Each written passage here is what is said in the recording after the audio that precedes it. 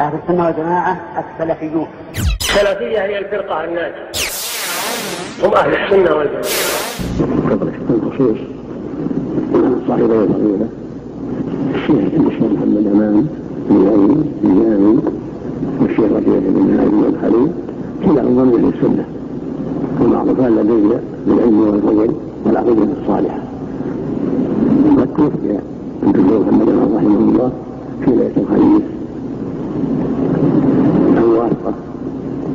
27 شعبان من هذا العام رحمه الله. فأوصي بالاستفادة من كتب الإيمان نسأل الله أن يوفق الجميع إلى غيره وأن يغفر للفقير الشيخ محمد وأن يوفق جميع المسلمين بما في رضاه وصلاح أمر عباده عند مسلمين قوي